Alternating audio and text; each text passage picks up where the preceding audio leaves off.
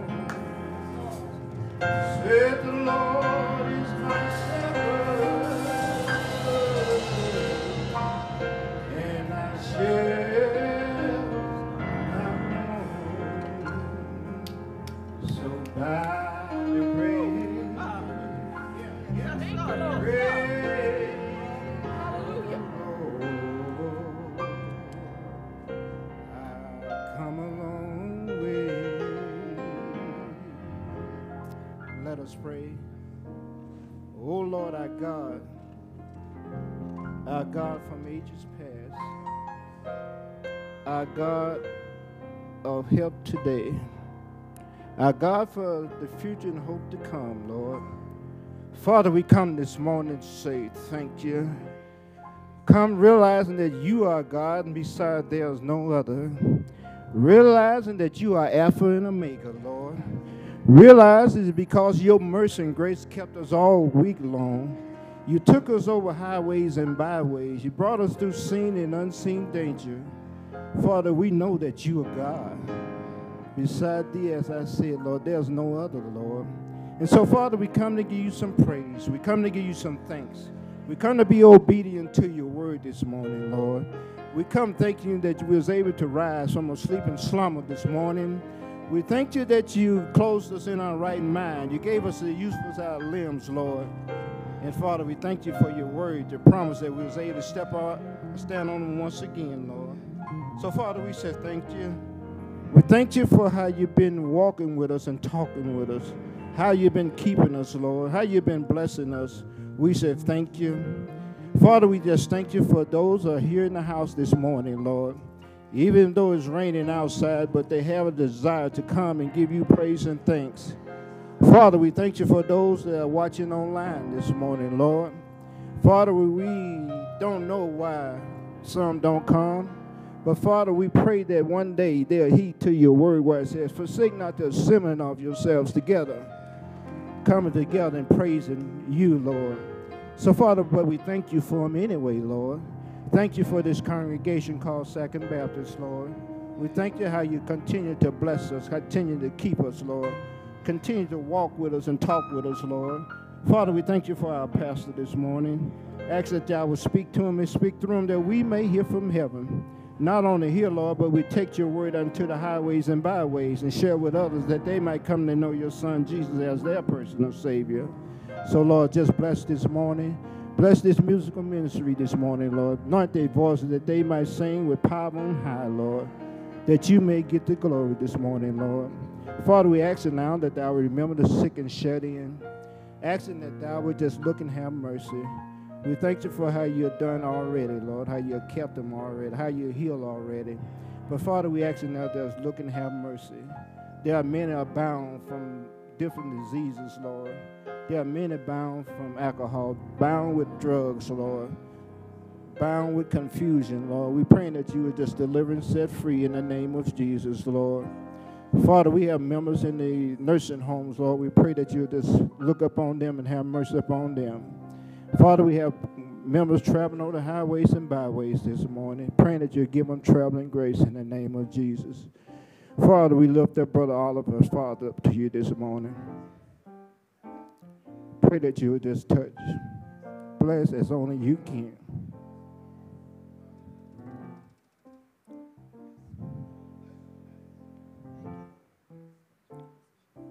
Oh Lord, we thank you.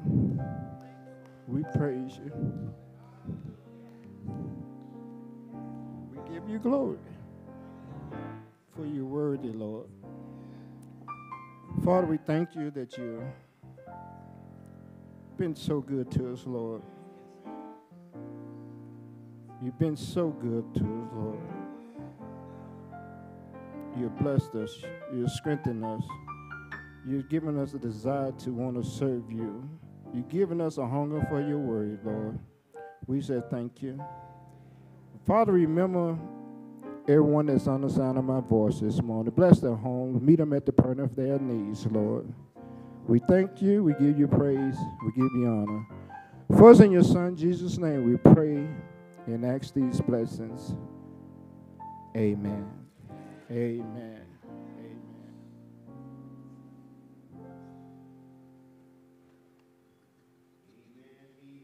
Man, good morning, Second Baptist. And welcome to Back to Church Sunday. Come on, give the Lord a hand praise if you don't mind. Hallelujah, hallelujah. This is the day that the Lord has made. Therefore, we will rejoice and be glad in it. I greet each of you in the name and faith of our Lord and Savior, Jesus the Christ, the author and the finisher of our faith, the giver of every good and perfect gift for I heard the Apostle Paul declare that it is in him in which we live, we move, and we have our being. And we here at Second Baptist would like to welcome those of you who are here for the first time or have come back to church after being away for a long time. And therefore, we would like for each of you who fall into that category to meet us at the Welcome Center immediately following service for a short reception so that we can love on you for a little while. Amen. Like to welcome everyone once again. Amen. Praise God. Like to welcome everyone once again, those of you joining us in person as well as those who are online. And just a reminder for those of you who are worshiping with us online this morning, welcome back to you as well. And please be sure to check in on our live stream. Let us know that you're coming back to church online, and we love to hear from you so that you can tell us where you're joining us from. Listen, our sole purpose for gathering here today is the worship and the praise of our awesome God. And we invite each of you joining us in person as well as those who are online to help us praise the Lord up in here. Up in here. Amen. Amen. Amen. Good morning, Dr. Edmond. Amen. Amen. How we thank and praise God for the presence of our pastor emeritus, none other than Pastor Nathaniel Edmond. And so good to see you, Christine, as well, looking lovely as always. Amen. I do not come to tell you something that you do not know, but rather to remind you of something that you should never forget. These are my pastoral observations for Sunday, September the 17th, 2023. Bible study is every Wednesday night at 7 p.m. on Zoom. Please be sure to join us this week as we continue our very helpful discussion of the exciting story of Joseph in the book of Genesis. Also, thank you so much. Thank you so much to those of you who remain faithful in your giving, particularly in times such as these. And we do not take it for granted that most of you continue to give and give faithfully even in difficult times. And so we thank you so much. Please remember to utilize our drive and drop service at any time throughout the week. You can drop off your offering, pick up extra offering envelopes, as well as devotionals as well. And so we thank you for that. Also, face coverings. Face coverings are optional here at the Second Baptist Church of Elgin for all worship services, activities, and events within the building. But as always, please, ma'am, please, sir, stay at home if you feel sick. Thank you so much for your cooperation. And then just a reminder as we come into worship that the bus that we have is up and running. Amen. I want to remind you the bus is up and running. We have two buses. So, amen. If any of you have a problem getting to church, then you can call the church office, leave a message, and someone will be there to pick you up, providing that you are within the zone, the area in which we go. And so be sure to reach out to our administrative assistant, Xanthia Hicks, or our deacon ministry, we can tell you the boundaries. And they extend all the way in some parts to Schaumburg and other various places. So if you're watching from our home and you want to make it to the house of worship, the bus is available. Amen. Amen. Also, please feel free to drop off your one to five year olds at our wonderful nursery. And if you have children aged six to 12 years old, please consider releasing them to our children's church ministry. We promise to take real good care of them. Amen. And then also, before I move into my other announcements, I just want to thank uh, those ministries that were participating at the soup kitchen on this past Friday. Come on, give, give them a hand. We had a tremendous a tremendous turnout. Amen. So many singles were there. So many ushers were there. Amen. And what was the third ministry? What was the third one? The deacons. Oh, the deacons are always there. The deacons are always there. Amen. But there was a tremendous turnout for people who were just excited to serve and do something good. And so I encourage you, please, man, please, sir, those of you who want to be a part of a ministry where you can have meaningful relationships, because that's when we really get to know each other. You know, it's hard to get to know somebody in the context of worship, but when you're out working shoulder to shoulder with somebody, that's how you establish relationships. Amen. And so we encourage you to take part in the ministry in some way, shape, or form. Also, also, please be sure to join us this afternoon at 3 p.m. for the minister ordination service of eight of our ministers. Amen. Come on, give them a hand praise. They've been so dedicated, working so hard. We are so excited about what God is doing in and through the lives of these servants of God. And our very own Pastor Emeritus, who's just made his entrance right on cue, the Reverend Dr. Nathaniel Lewis Edmond, will be delivering the ordination message this afternoon. So please come on back. Come on back. Those of you at home, come on. Come on back this afternoon and show your support. We hope to see you all then. Amen. Also, also, just a reminder our church business meeting, our church business meeting will be this Friday at 7 p.m. on Zoom. We are continuing to conduct our meetings via Zoom. Why are we doing that? Someone might ask. We're doing it so that we can give everyone the opportunity to attend. So please, ma'am, please, sir, those of you who are members of this great church, join us so that you can know what is going on in your Church. Amen. There are some exciting things going on within the ministries of Second Baptist Church. So be on the lookout for the meeting link, which will be sent out through Flocknote. So thank you so much for your cooperation. And speaking of Flocknote, speaking of Flocknote, if any member has questions about how to log into, use, or access your information in Flocknote, the PR ministry is here to help. Amen. I mean, they are really here Amen. They're really here to help. As a matter of fact, immediately following service today and on next Sunday, the 24th, members of the PR ministry will be here on site to provide assistance and answer any questions that any of you may have regarding Flocknote. And if you are not available to meet them on today face to face, you can send them your questions at any time to PR at sbcelginil.org and we'll give you a good answer to your questions. Listen, I've said it before. Our whole desire is that we direct every member through Flocknote because that is how we stay connected with the good people of Second Baptist Church of Elgin. And speaking also of the PR ministry, the PR ministry is currently supporting all social media, graphic design, and website content. So if anyone has interest in assisting with the outreach of the church in the digital space, they would love to have you on the PR ministry. Now, this invitation is also extended to the youth of our church. Amen. Get the word out. It's extended to the youth of our church as well, because as you well know, Oftentimes, they tend to know more about IT than many of us do. Y'all don't have to say anything. I can say for myself. You better find you a young person if you want to know something about some IT. Amen. And, and we think that they would be key in helping our PR ministry to enhance our digital presence. Amen. So if anyone is interested in joining this vibrant and exciting ministry, please be sure to email them at once again pr at sbcelginil.org for more information.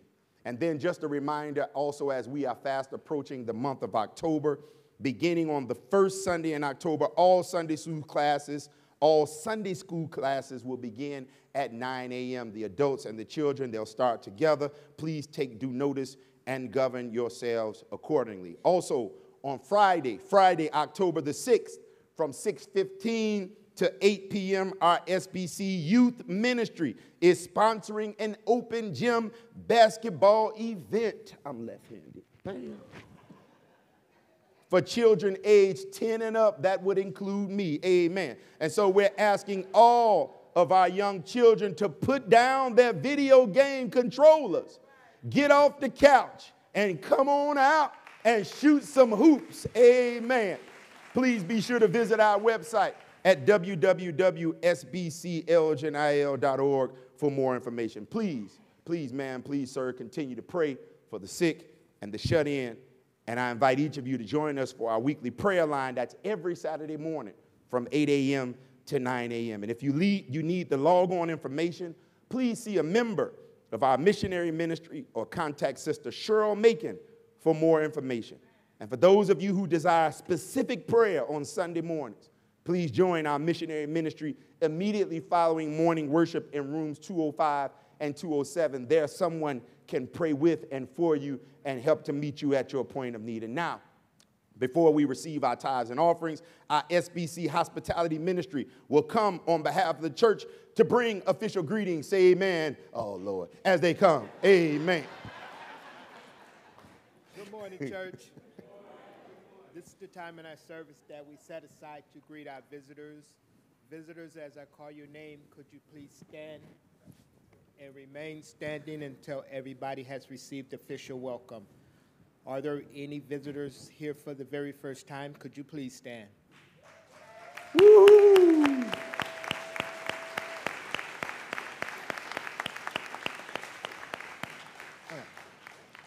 On behalf of Pastor Parks and the Second Baptist Church family, we want to thank you for coming to worship with us today. We know you had many choices and places to worship, but we're so delighted that you chose to worship with us. If you're looking for a church home, please consider Second Baptist. Again, thank you for coming. You may be seated. To our online visitors, thank you for joining us. You may contact us using the contact link to let us hear from you. If you have any prayer requests, you can leave it there. Thank you again. Have a good day. Amen. Amen. Amen. Amen. Thank you so much for coming out to join us. Perhaps maybe you came on your own, but I like to think that if you're here, it's because someone invited you. And so we thank God for whoever it was that you were in contact with to put it on your heart to come and to worship with us today. And so we are grateful. And now, as our music ministry prepares to come, let us take this opportunity online as well as those who are in person to receive our tithes and our offerings. It was the Apostle Paul who reminds us in his letter to the church at Corinth let every person, as he purposeth in his heart, so let him give, not grudgingly, nor of necessity, for God loveth a cheerful giver. I'm going to ask at this time Reverend Love to come and offer up our offertory prayer.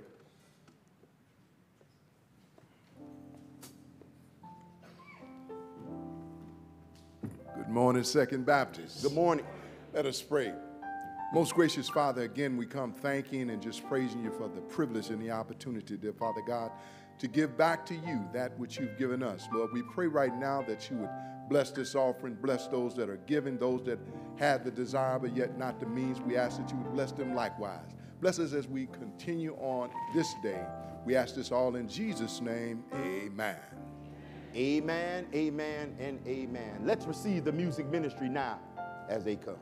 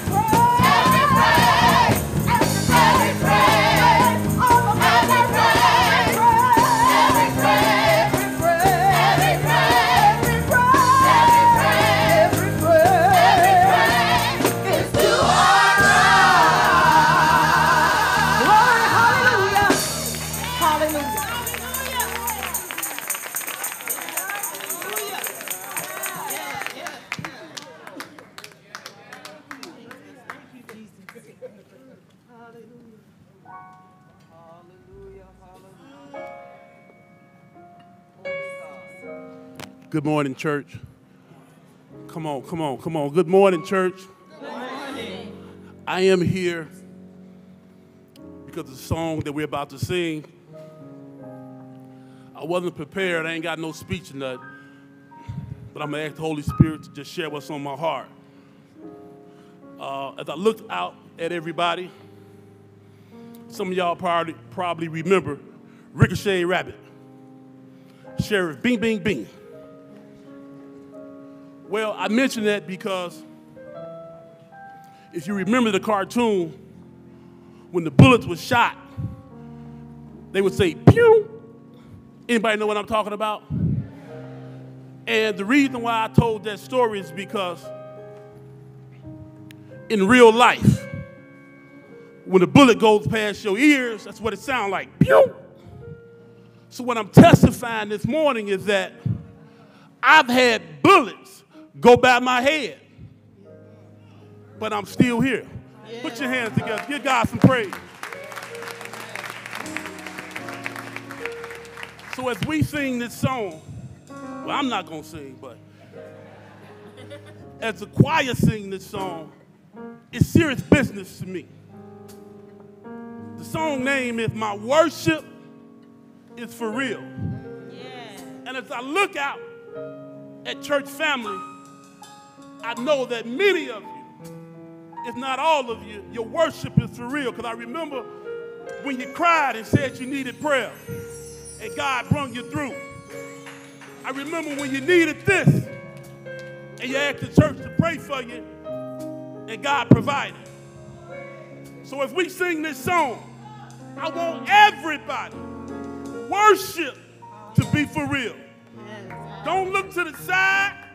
Don't worry about what nobody else is doing, but let your worship be for real.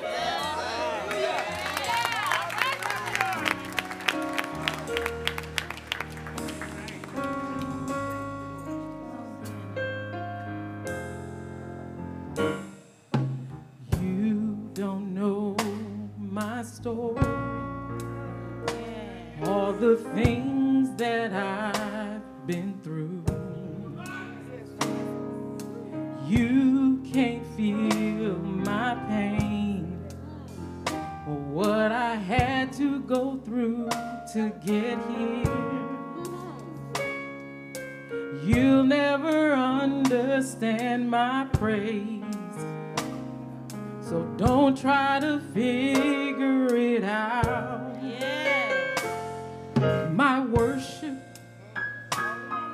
my worship is for real. Oh, because my worship, my worship is for real.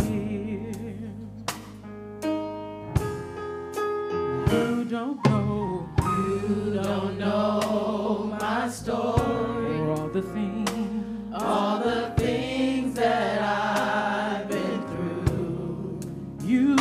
feel my pain. You can't feel my pain.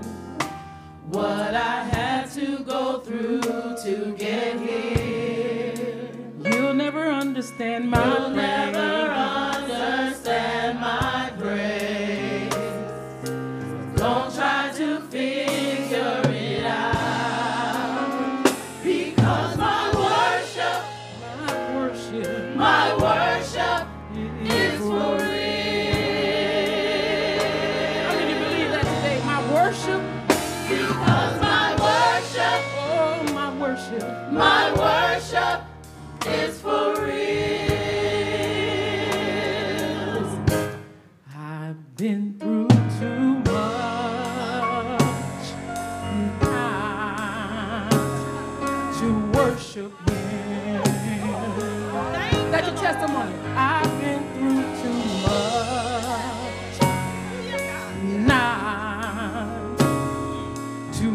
Worship Him.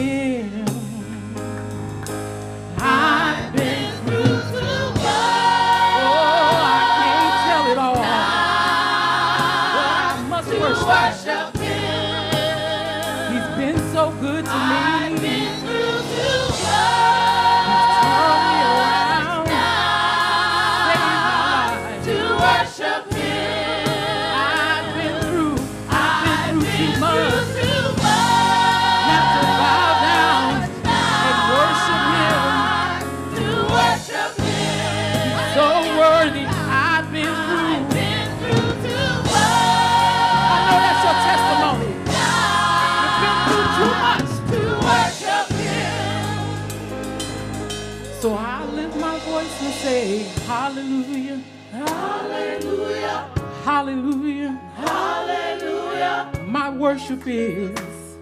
My worship is for real. Hallelujah. Hallelujah. Hallelujah. Hallelujah. My worship is. My worship is for real. Thank you, Jesus. Thank you, Jesus. Thank you, Jesus. Thank you, Jesus. My worship is. My worship is for real. Lord, you're worthy. My worship is. My worship is real. Hallelujah. Hallelujah. Hallelujah. Hallelujah. My worship is. My.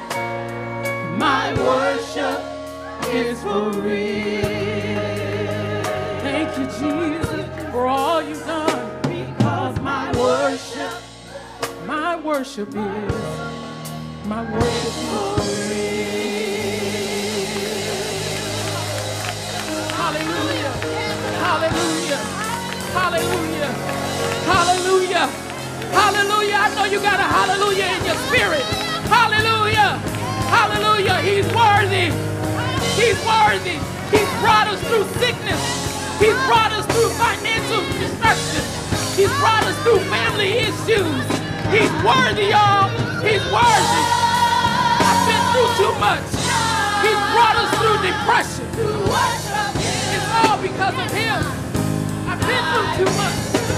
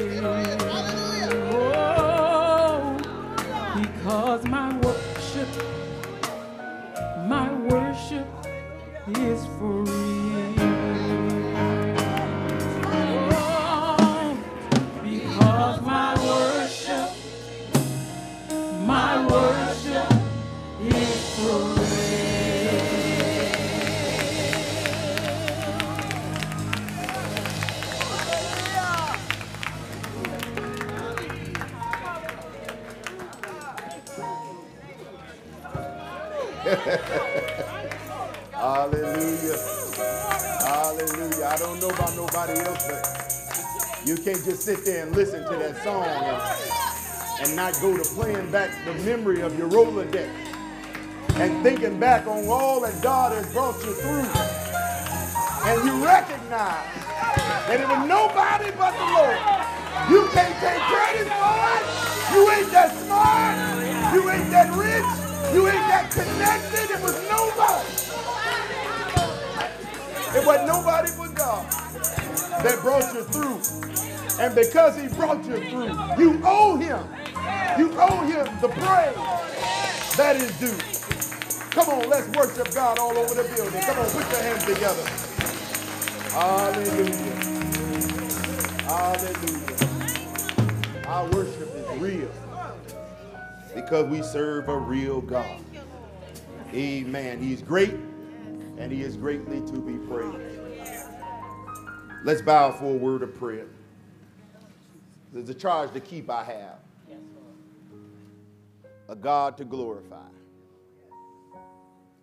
A never dying soul to save. And fitted for the sky. To serve this present age, my calling to fulfill. And may it all my powers engage to do my master's will. Our Lord and our God, we come before you today declaring that we're grateful. We thank you for being God all by yourself, and beside you there is none other. And now, oh God, as we set aside this time, we seek to hear word from you. For in times like these, if we don't hear from you, we won't know what to do. So, our prayer this morning is that you would speak with my mouth and think with my mind that the words of my mouth and the meditation of my heart be acceptable in thy sight, O Lord, my strength and my redeemer. So much so that when we go down from this place, we might rejoice being glad that we showed up this Sunday morning on this back to church Sunday morning. So forgive us of our sin. Fix us for this worship experience. Fill us with your spirit, O God, and then feed us until we want no more. These and other blessings we pray in the matchless, the merciful, magnificent name of our Lord and Savior Jesus the Christ, we do pray. And all God's people said, Amen and amen. Come on, let's all stand. Let's all stand as I read in your hearing the thematic scripture for this morning. Amen. The thematic scripture for this morning comes out of the epistle to the Roman church, chapter 10, verse 15. One verse, the New Living Translation reads on this wise And how will anyone go and tell them without being sent? That is why the scriptures say, How beautiful are the feet of messengers who bring good news. And before you have your seats, in the traditional King James Version, every time I read it, I just want to holler. It reads on this wise, and how shall they preach? Caruso except they be sent. As it is written, how beautiful are the feet of them that preach the gospel of peace and bring glad tidings of good things. Have your seats in the presence of the Most High God. Amen. How shall they preach except they be sent? for just a little while for the time that is mine. I'll preach and teach with this thought in mind sent to be a blessing. Amen. That's what we want to talk about this morning. Sent to be a blessing. The grass withereth and the flower fadeth, but the word of our God shall stand forever. This afternoon, as many of you know, we will be ordaining eight of our associate ministers who serve on our ministerial staff. And I have you to know this morning that ordination is an affirmation of the call that they have already received from God. Ordination is a continuation of the work of the ministry. Ordination is a separation for sacred service. Ordination is an elevation that draws more attention on every aspect of their lives. And that is why Paul encouraged Timothy to throw yourself, throw your, hurl yourself into the tasks so that everyone will see his progress. He said, keep a close watch on how you live and on your teaching. Stay true to what is right for the sake of your own salvation and the salvation of those who hear you. And as we consider the text before us this morning, my prayer for everyone here today, but more especially those called to carry the Lord's gospel, is whatever God has called you to do, and uh, uh, wherever God has called you to go, that you do and go with the understanding that you have been sent to be a blessing. Oh, yes, you've been sent to be a blessing, not to be bothersome or burdensome, but rather you've been sent to be a blessing. You've been sent to bless, not curse, to build up, not to tear down, to soothe, not to disrupt, and to unify, and not to divide. I felt pretty good when I woke up this morning. Beloved, the God of heaven has sent each of us into this broken world to be a blessing. Oh, tell somebody this morning, I want to be a blessing. I'll tell somebody else, I want to be a blessing. Is that your prayer this morning? No wonder the hymn writer said, if I can help someone, as I pass along, if I can cheer someone with a word or song, if I can show someone he's traveling wrong, then my living will not be in vain. If I can do my duty as a Christian, or if I can bring salvation to a world once wrong, if I can spread the message as the Master taught, then my living will not be in vain. That listen, when it's all said and done, our living will not be in vain.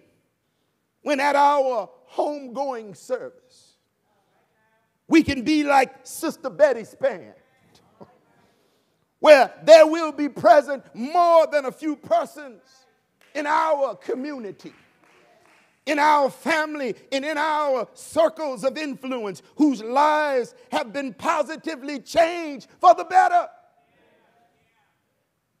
as a result of our interactions with each of them. And that is why, in our mission statement, that as we seek to live and learn God's word together, we here at the Second Baptist Church of Elgin, we seek to be and to become a compassionate and welcoming group of Christ followers who are soul redeeming in our contacts, which means that our sole purpose is to win souls for Christ. But we should also be sincerely relational in our care, which means that we want to sincerely love on folk for the purpose of establishing genuine relationships. But lastly, that we seek to be socially relevant in our community. Because we learned the other day that our God is a God of justice. And because our God is a God of justice, He expects us to call things out when we see that they do not line up with His will, His way, and His word. And it is my prayer that upon the conclusion of this sermon, each of us present here today, from the pulpit to the pews, would be reminded that God has sent the members of His body, the church, the ecclesia, out into this world to be a blessing. And that's why Jesus told his disciples the other day, let your light so shine before people that they would see your good works and cause them to glorify your Father which art in heaven. At the time of our text, Paul is writing to God's redeemed in the city of Rome to remind them of the righteousness that they now have in Christ Jesus and how it has been accomplished on the cross. As a matter of fact, he writes in chapter 3, verse 22 this righteousness from God comes through faith in Jesus Christ. Watch this to all, somebody say all, all. who believe. And he says that there is no difference for all, somebody say all, all. have sinned and fall short of the glory of God and are justified freely by his grace through the redemption that came by Christ Jesus.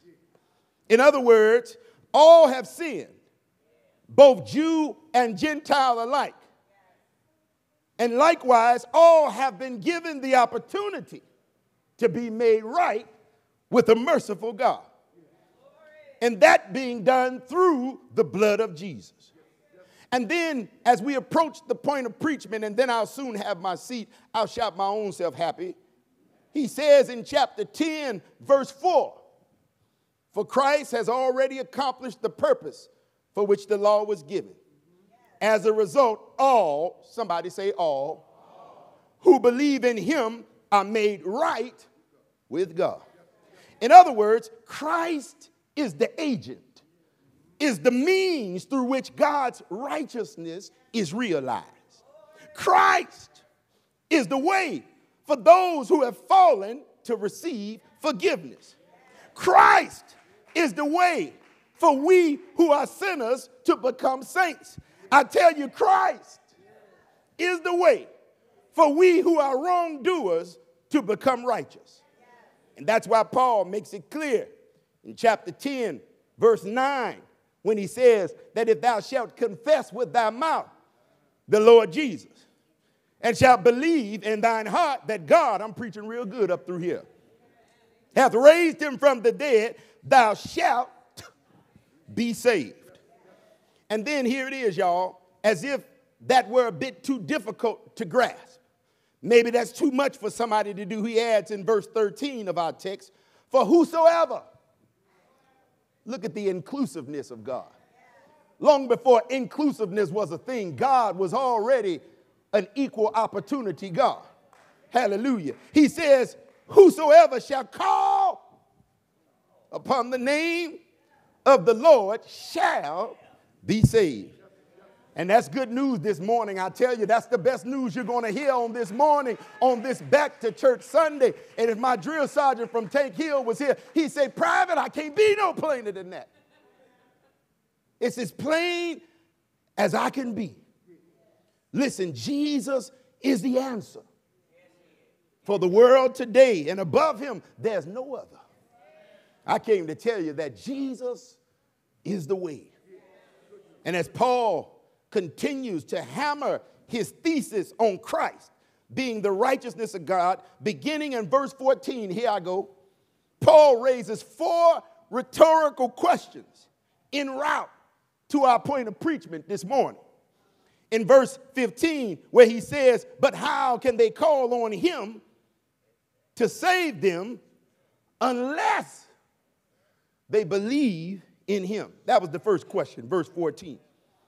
How can they call on him to save them unless they believe in him? Listen, in other words, there's no use in calling on someone if you don't sincerely believe that they can help you. Lord have mercy. I want to talk to this side. I'm feeling the luck talking to this side. You ever been in a jam? You don't call somebody who can't do nothing about it. I mean, if you was in a jam, I hope it ain't the jail, but if you had one phone call to make, I don't know if they still do that. I mean, I ain't been in a jail cell in quite some time, but but do they still say you got one phone call? Do they do that? Oh, you know, they acting new on this side. I say, do they do that? I know some folk been to jail on this side. They give you one phone call. And if you had one phone call to make, you would call somebody. I wish I had who could do something about your situation. Have I got anybody in here?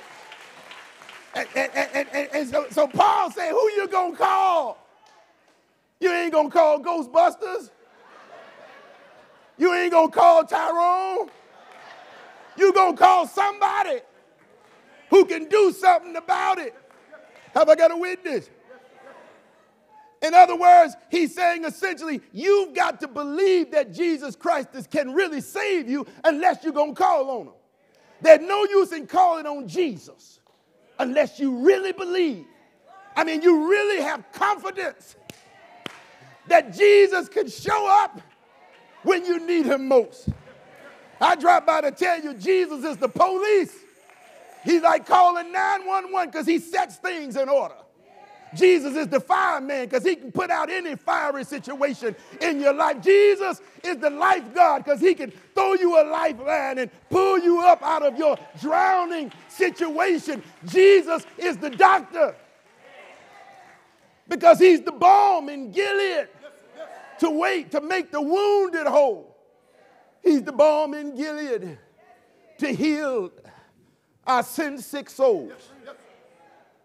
And then Paul he goes on to say, and how can they believe? Believe, which is to say, how can they put their confidence in someone if they have never heard about him? Thank you, sir. And how can they hear about him unless somebody tell them? In other words, the only way that people will ever know that Jesus saves is if we tell them. Somebody got to tell them. So somebody has to tell them. Listen, even in the 21st century, with all of the information that is flying about the airways, we cannot assume that everyone has heard the good news that Jesus has set us free from our sin. Oh, I know I'm telling the truth this morning. Listen, President Abraham Lincoln issued the final Emancipation Proclamation on January 1st, 1863, setting free all enslaved Africans being held in the Confederate States. You get to learn something when you come to church here. But it was not until June 19th, 1865 in Galveston, Texas, that Major General Gordon Granger issued General Order Number Three, informing enslaved Africans of the good news that had been issued two and a half years prior.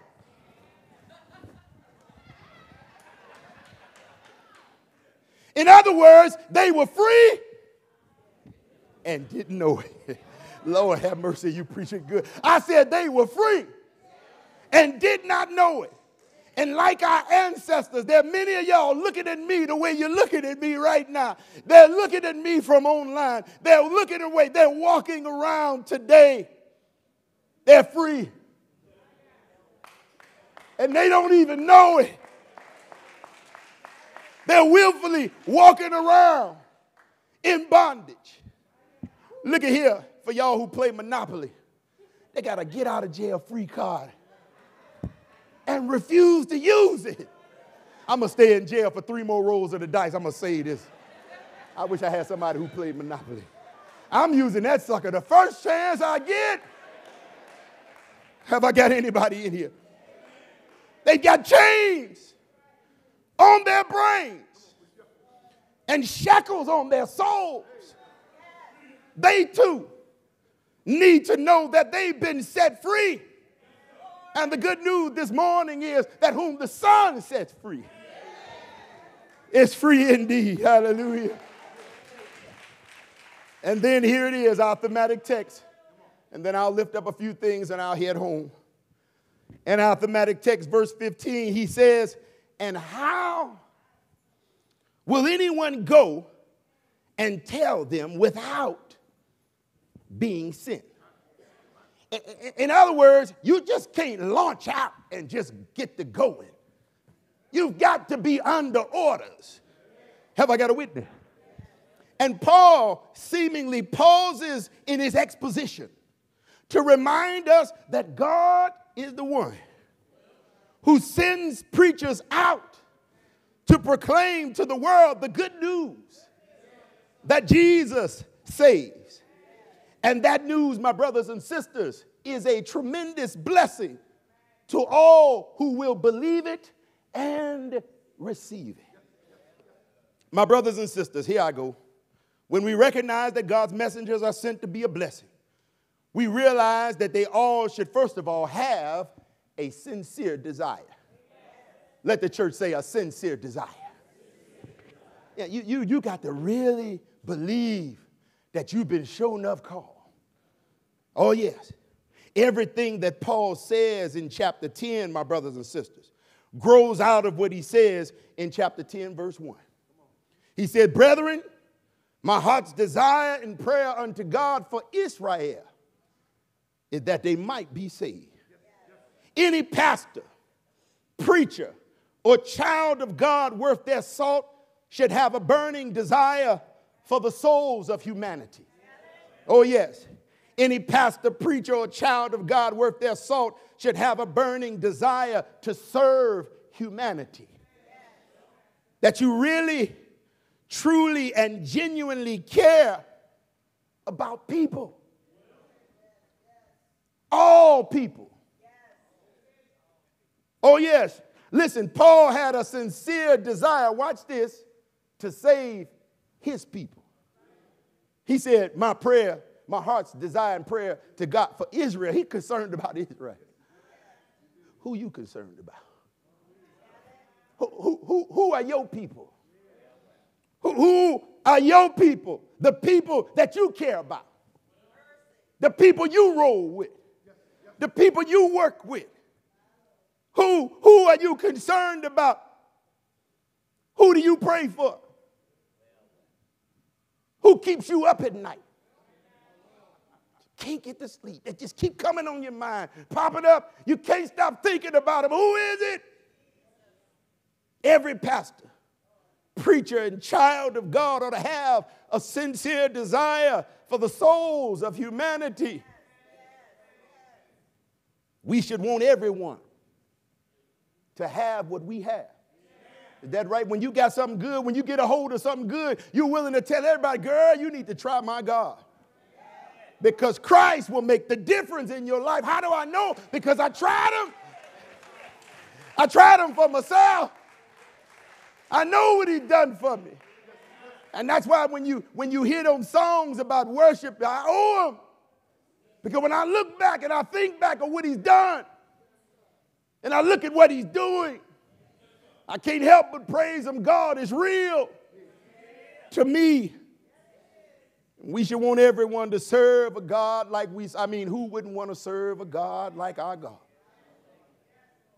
Because there is no God like our God. But secondly, not only should preachers have a sincere desire, secondly, as I hurry on, every preacher should recognize that this is their sacred duty. It's their sacred duty. The King James Version in verse 15 says, And how can they preach unless? This is a condition here.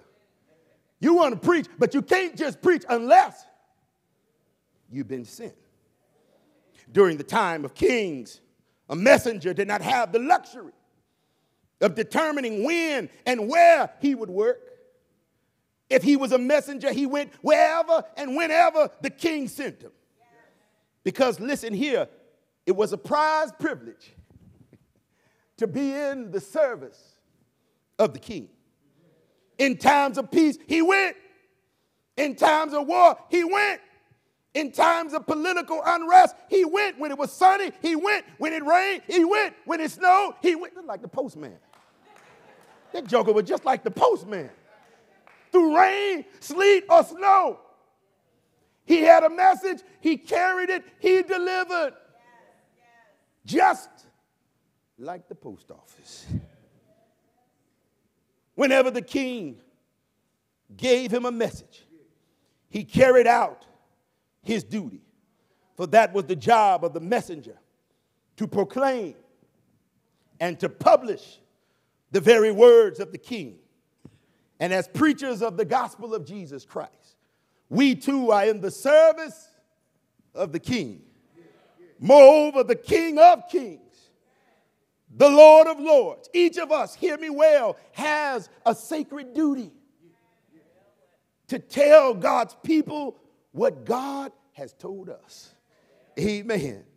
It is sacred because, hear me well, not everyone has been called to such a task. That's why it's sacred. You've been set aside for sacred service. Everybody can't do what you're doing. And without God's help, no one can carry out such a task. Listen, when the king calls you in, you come. And when the king sends you out, help me preach here, you go. Why? Because it's a privilege to be in the service of the king. And whatever it is that God has called us to do, whether it's preaching, whether it's teaching, whether it's serving in various ministries, we should do it with all of our strength and with all of our might. Why? Because it is a privilege to be in the service of the King. And what we do for God does matter. It matters. Well, I'm through. Thank you for your patience. I told you that as preachers and people of God, that we all should have a sincere desire. Secondly, I lift it up to you that as preachers, each of us has a sacred duty. But I'm going to my seat lastly when I tell you that as preachers, we have a special delivery. We got a special delivery. We got a package that we got to drop. I can remember when, when I worked for the United States Postal Service, every now and then I would be given what we call a hand to hand delivery. This was a special delivery that I would get called to the dock for and it would be given to me, hand given to me by the expediter. And he would say, Take this package directly to Mr. John Doe at this address. You got to put it directly, have mercy, into his hand. It was a special delivery. Paul prefaces this pericope with the preposition, as it is written. He quotes Isaiah 52 and 7. How beautiful upon the mountains are, Lord have mercy here, the feet of those who bring good news, who proclaim peace, who bring good tidings, and uh, who proclaim salvation, who say to Zion, Your God reigns. But Paul, yeah, Paul paraphrases by saying simply, How beautiful are the feet of those who bring good news. This preacher here now focuses exclusively on the feet of God's messenger. And someone may be wondering this morning why all of this uh, fascination with the feet of God's preacher. Why are the feet of the messenger so beautiful. He'll be preached here. Because the messenger's feet carry a special delivery. The messenger's feet are the power source that propels them forward in the direction of the people. Their feet are the vehicle that has been deployed to deliver God's uh, decrees. Their feet are the reason God's people receive his message of uh, rescue. The feet of God's preacher are beautiful because they symbolize the progressive work of faithfully proclaiming the gospel of peace on a consistent basis. The feet of the preacher is beautiful because they have prayerfully walked with God. And on Sunday morning, when you hear the approach of God's preacher as they make their way towards the sacred desk. You ought to get excited, Brother Marvin, because you know that your help is on the way. I say you ought to be excited when you hear them because your hope is on the way. And you know that they have been sent with a special delivery straight from the very heart of God. and that they have been sent from God to be a blessing to his people. I'm through, y'all. Thank you so much. I'm through. God bless you all.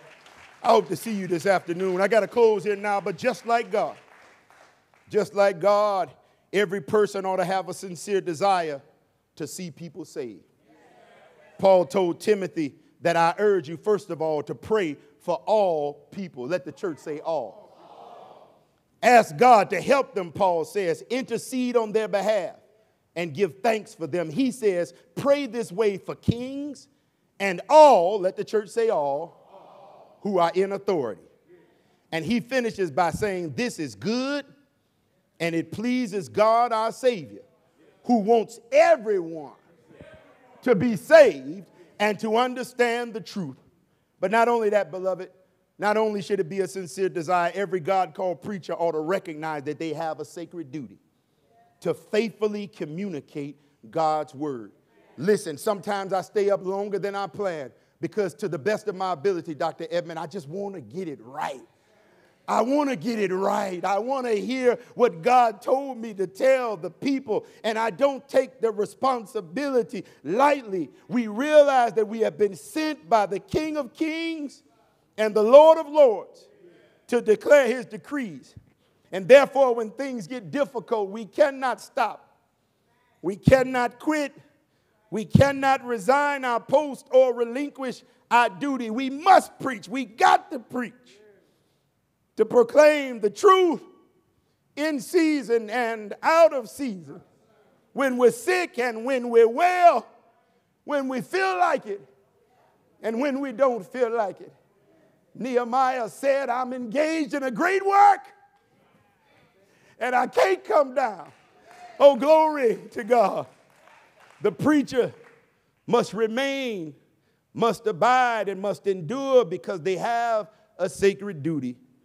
They're in the service of the king. But lastly, beloved, God's messenger has a special delivery. And like the mailman, not Karl Malone, but I'm talking about the real mailman, he must deliver. His message is marked urgent and it is time sensitive. That special delivery is the good news that Jesus saves. Jesus rescues. There is another way. There is a better way. And I drop by to tell you that Jesus is what? The only way. The good news that there's a way out there's a way in and there's a way through. And I stopped by this morning on my way to heaven to declare to you today that Jesus is the way, Jesus is the truth, Jesus is the life. And in Him, you can have life eternal. Jesus calls us in to save us, and then He sends us out to serve others. Will you respond? Will you respond? Will you respond to God's message of rescue? The door of the church is open. Man, woman, letter, Christian experience, candidate for baptism. Now's your time. Now's your turn. Step out, step up, and receive salvation.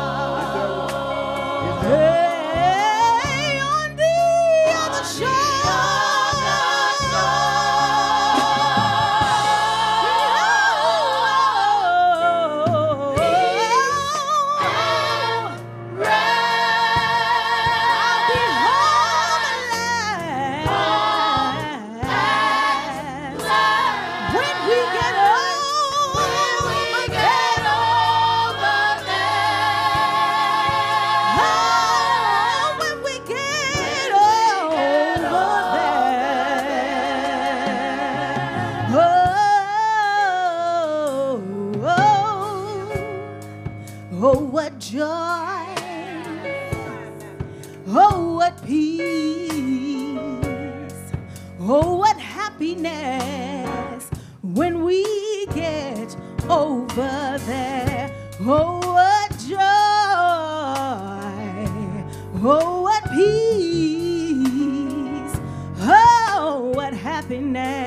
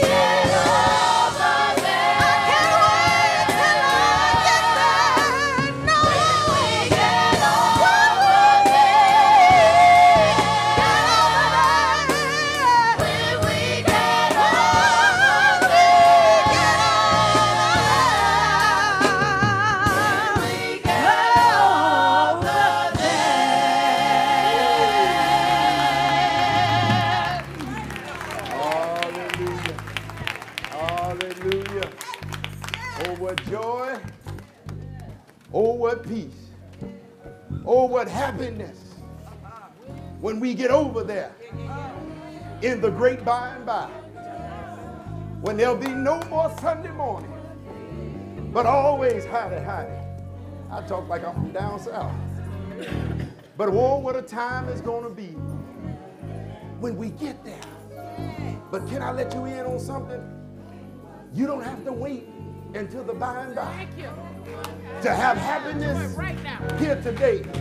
I say you don't have to wait until the by and by to experience joy, everlasting, to have peace in the midst of the storm, and to have happiness.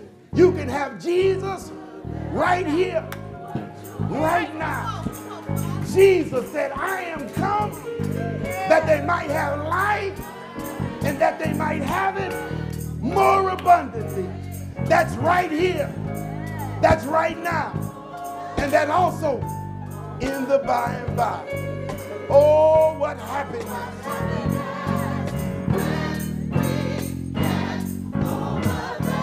Hallelujah. Yeah, yeah.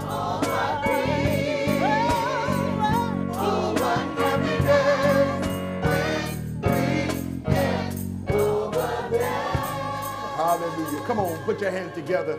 Thank God for what you heard. Hallelujah. We thank and praise all those who are visitors who come on this Back to Church Sunday. Just a reminder, we would like to host a brief fellowship in our Welcome Center immediately following the worship service. We do hope that you would come and attend. It's hosted by the Evangelism Ministry. Those individuals wearing the green shirts. Come on, y'all stand up right quick. Hey, Sister Ernie, back in the house. Come on, stand up, girl. Stand on up so I can see you with your shirt on. Everybody with green shirts on. Amen.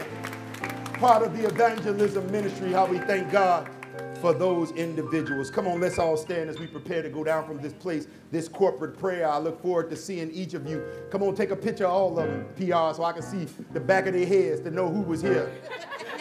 I want to see all the back of their heads so that we can see them at 3 o'clock. Pray, pray for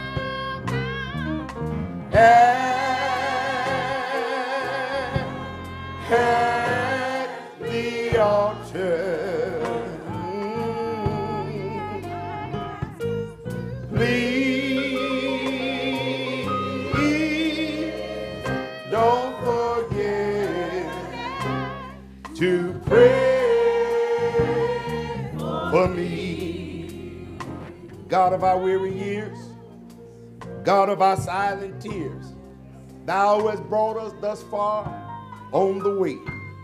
Thou hast by thy might led us into the light. Keep us forever in the path we pray. Our Master and our King, how we thank you today for what our ears have heard, what our eyes have seen, and even what our hearts have felt.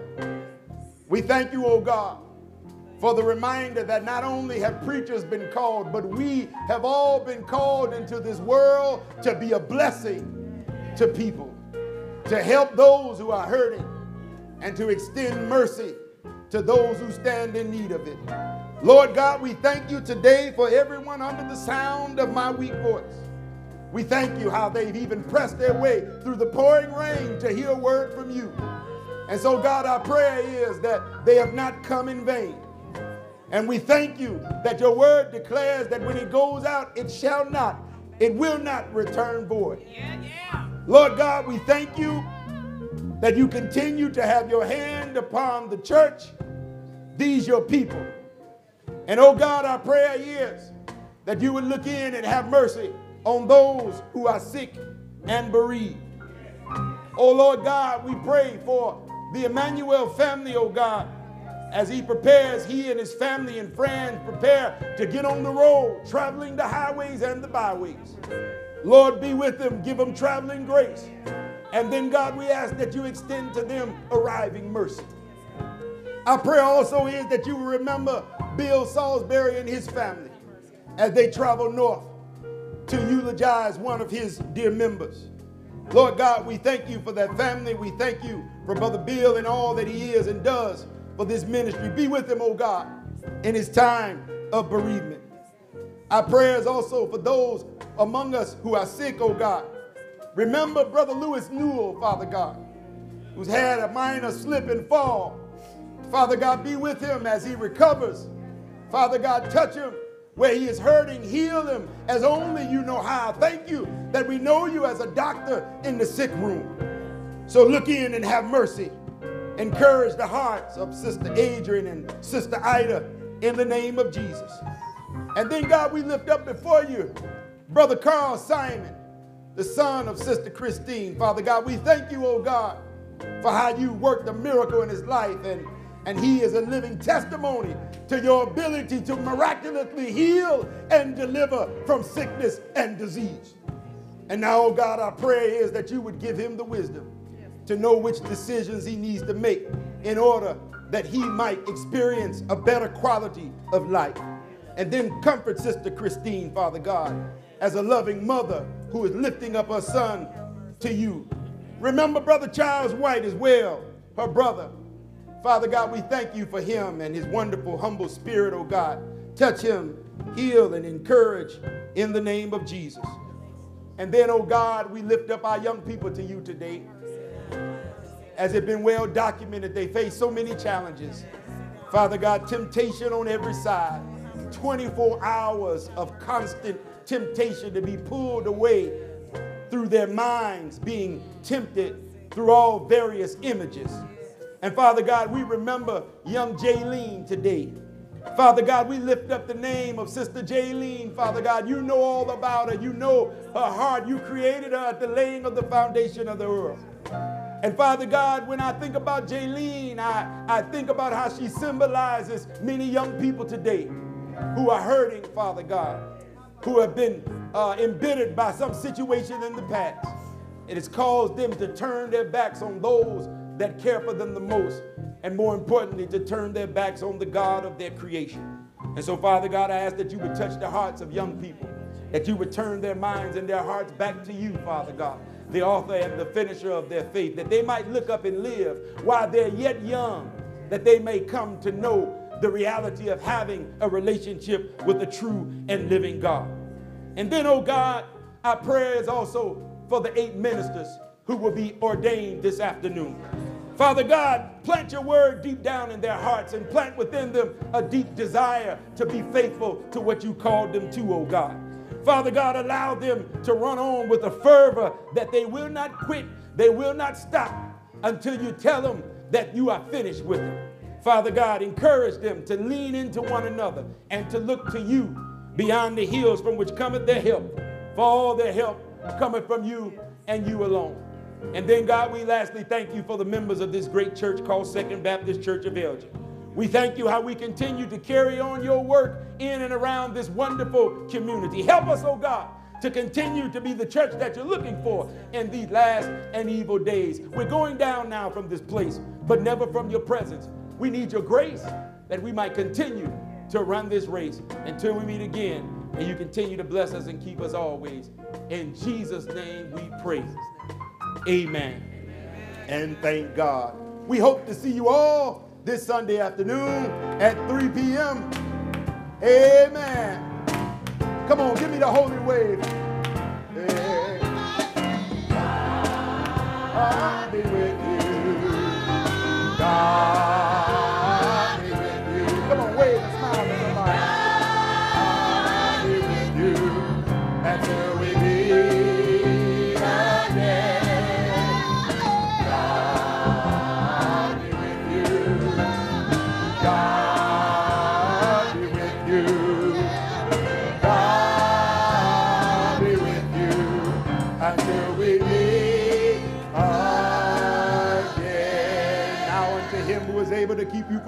and present you faultless in the presence of his glory with exceeding joy. To the only wise God, our Savior, be glory and majesty, dominion and power now and ever. Amen.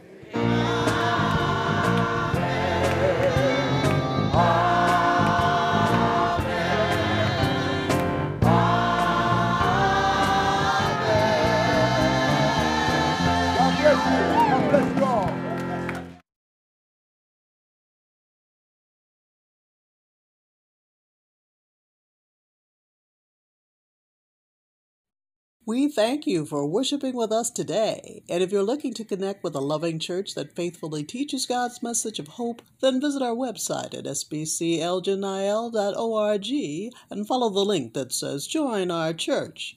We hope to see you soon at the Second Baptist Church of Elgin, where we live and learn God's Word together.